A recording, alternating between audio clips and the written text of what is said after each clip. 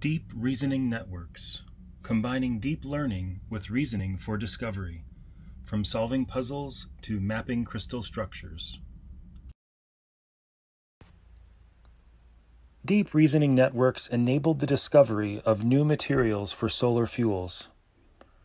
In contrast to standard solar panel energy, which depends on intermittent sunlight, solar fuels can be stored for later use.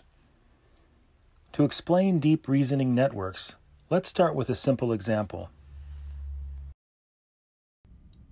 A multi-MNIST Sudoku is a set of two overlapping handwritten Sudokus.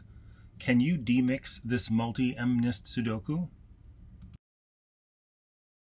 Deep reasoning nets, or DR nets, solve multi-MNIST Sudoku by combining deep learning with reasoning about the Sudoku rules to demix the Sudokus without requiring Sudoku examples to train on.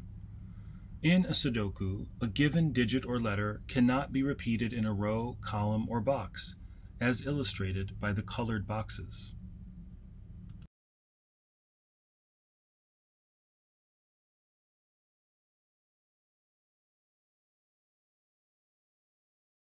More importantly, DR nets solve real-world scientific problems, such as crystal structure phase mapping, which involves identifying and demixing the crystal structures or phases of materials given a collection of X-ray diffraction patterns. DR nets do not require labeled data to train on for automating crystal structure phase mapping. DR nets compensate for the lack of training data by combining deep learning with reasoning about crystal structures and thermodynamic rules. In DR nets, an interpretable structured latent space is key to incorporating reasoning about prior knowledge into deep learning.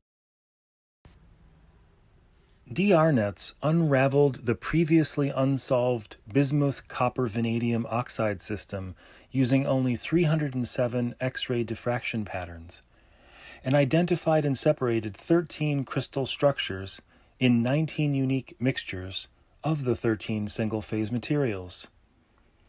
By encoding the scientific principles of crystal structure phase mapping, DRNets enable the discovery of complex mixtures of crystalline materials that convert solar energy into storable solar chemical fuels.